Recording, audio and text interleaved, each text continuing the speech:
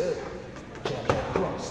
are tight against my rib cage. You want to protect your core right here. So it's always tight and my hands are right at my chin, okay? So they're always going to be up. When I say leaning,